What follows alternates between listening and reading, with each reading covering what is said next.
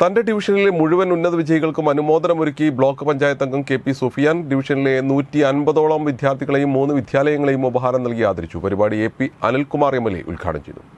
കുന്നമംഗലം ഗ്രാമപഞ്ചായത്ത് പന്നിക്കോട് ഡിവിഷനിലെ S S L C plus two പരീക്ഷകളിൽ ഉന്നത വിജയം നേടിയവർക്കും L S S U S S N M M S വിജയിച്ച മുഴുവൻ വിദ്യാർത്ഥികൾക്കുമാണ് ബ്ലോക്ക് പഞ്ചായത്ത് അംഗം കെ പി സൂഫിയാന്റെ നേതൃത്വത്തിൽ അനുമോദനം ഒരുക്കിയത് ഡിവിഷനിൽ നടന്നുവരുന്ന വിദ്യാഭ്യാസ പ്രോത്സാഹന പദ്ധതിയുടെ ഭാഗമായി വിജയപദം എന്ന പേരിലാണ് പരിപാടി സംഘടിപ്പിച്ചത്.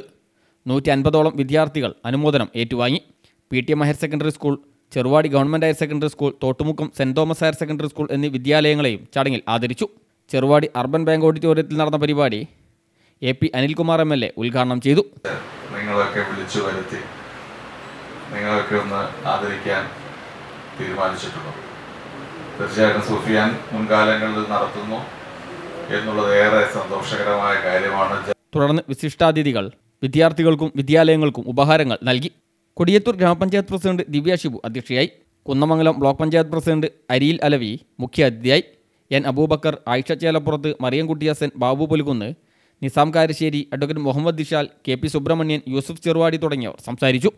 News bureau Mukkam.